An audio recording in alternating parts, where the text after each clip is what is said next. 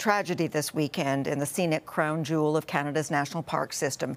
Two hikers were killed in a deadly grizzly bear attack in Banff. And while such attacks are rare, it comes as bears are preparing for hibernation and the risk of surprise encounters is increasing. CTV's Nicole Di Donato reports.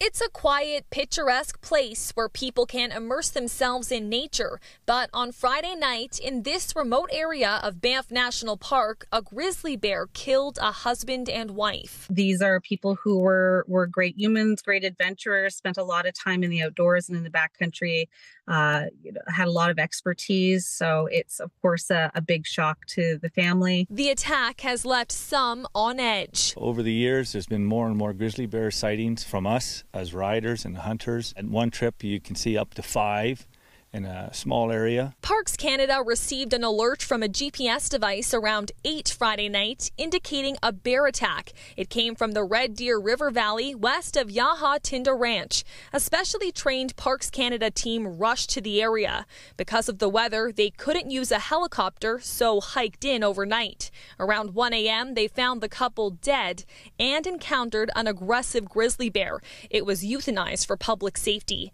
Parks Canada also closed part part of the Red Deer and Panther Valleys as a precaution until November 30th. The actual chances of being killed by them is, is quite low. It's about 14% of people actually die from grizzly bear attacks. So uh, it is an unusual case. Alberta Forestry and Parks calls it a tragic incident and offers its condolences to the victims' loved ones, saying in a statement During the fall, bears are preparing for hibernation and the risk of surprise wildlife encounters increases.